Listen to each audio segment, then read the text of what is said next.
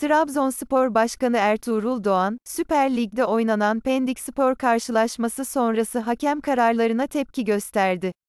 Süper Lig'in 7. NCİ haftasındaki Trabzonspor Pendikspor maçı, Bordo Mavililerin ki bir galibiyetiyle sona erdi.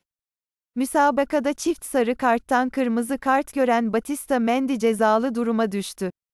Trabzonspor Başkanı Ertuğrul Doğan maç sonu açıklama yaparak hakem kararlarına sert sözlerle tepki gösterdi. Başkan Doğan, bu tür konuşmaları yapmayı seven biri değilim ama sahada yaşanan terbiyesizliğin bir sonunun gelmesi lazım. Burası Dingo'nun ahırı değil, herkesle alakalı konuşuyorum.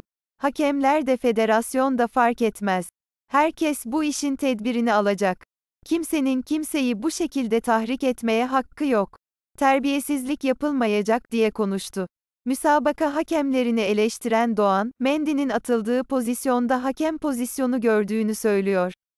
Neyi gördüğünü merak ediyorum. Neyi gördüğünü çıkıp açıklayacak. Vardaki arkadaşa sesleniyorum. Akşam eve gittiğinizde nasıl rahat ediyorsunuz?